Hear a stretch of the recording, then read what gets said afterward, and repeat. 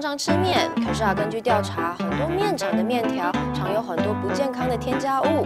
到底要怎么样分辨健康面条？四季零食来看，节瓜虽然啊它长得像黄瓜，可是口感和料理方式可是大不相同哦。校园舒适风正康推出全国首创的健康、有机、环保、有序主题。